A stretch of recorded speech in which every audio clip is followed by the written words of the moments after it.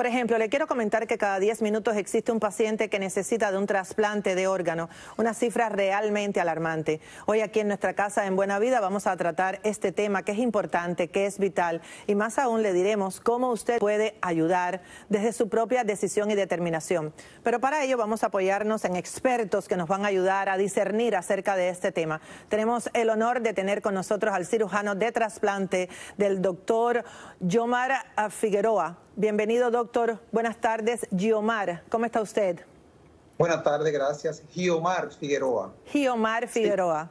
Gracias. Y realmente sí, con una decisión se puede cambiar la vida y salvar muchas vidas. Realmente, con donar, cuando una persona fallece, con donar los órganos de esa persona que ha fallecido, se pueden salvar ocho personas y ocho personas más pueden mejorar su calidad de vida a través de los tejidos que pues, se pueden donar. Eh, vamos a tratar de realmente poner en la perspectiva real para que nuestra audiencia pueda entender mejor y hacer decisiones precisas en el día de hoy. ¿Qué significa que con que una persona se vuelva donante de órganos pueda ayudar a ocho personas? ¿Cómo podemos nosotros desglosar eso? Cuando una persona fallece, realmente los órganos lo van a enterrar o lo van a cremar, lo van a incinerar. Bueno, pues antes de que eso ocurra, con la decisión de donar esos órganos para personas que lo necesitan, se puede salvar. Con un solo donante se le puede donar el corazón, dos pulmones, el hígado, dos riñones, el páncreas, dos intestinos, aparte de que también se pueden donar la córnea, hueso, piel, tejidos, otro tipo de tejido como válvula cardíaca, que pueden darle calidad de vida o salvarle la vida a otro ser humano que lo está esperando.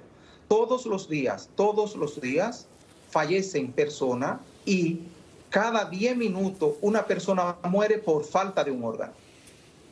Y esto es importante porque la realidad es que todo esto se puede conseguir y podemos seguir ayudando eh, precisamente a personas que están esperando un trasplante y que de eso depende su vida. Y realmente, ¿cómo se puede tomar esa decisión estando nosotros en vida, doctor?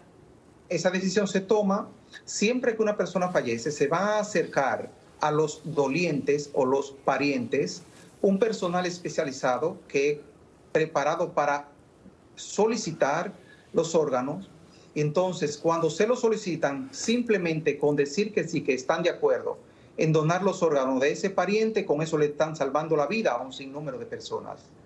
Toda persona que fallece siempre, siempre puede, después de la muerte, dar vida a otro o calidad de vida. Piensen que aparte de que le van a salvar la vida una persona que no ve, con simplemente donar la córnea, puede volver a ver, ver los colores, una persona que está esperando por un corazón, con el corazón de una persona que ha fallecido, puede ese corazón volver a latir en otro y darle vida a otra persona. Quiero decir rápidamente, antes de poner en pantalla eh, la información que usted debe tener para que se convierta en donante de órganos, que más de 100 mil personas en este momento esperan un trasplante de órganos que les salve la vida. El 60% de los pacientes que esperan un trasplante pertenecen a comunidades como minorías, que se llama, que entre ellos estamos nosotros, los hispanos y latinoamericanos. En el año 2020 se proporcionaron más de 66 mil córneas para trasplantes que han restaurado la vida de las personas que estaban en espera. Igual están en espera de trasplantes de corazón, de hígado, de riñón, de pulmones. Así que por favor, si mi equipo de producción por favor me lo permite, pongamos ahí la información en el cual usted puede convertirse en donante de órgano. Cualquier persona sin importar edad o historial médico o enfermedades puede inscribirse como donante en la Red Unida de Distribución de Órganos y ahí tiene el número telefónico. Es 1 888 894 6361. Y además le sugiero que le informe a sus familiares que usted se está convirtiendo en donante de órgano por si pasara algo de momento, un imprevisto, sus familiares lo tengan en cuenta. Gracias, doctor, por estar aquí con nosotros y ayudarnos a promocionar esta conciencia que necesitamos despertar en nosotros, los latinos e hispanos parlantes en Estados Unidos.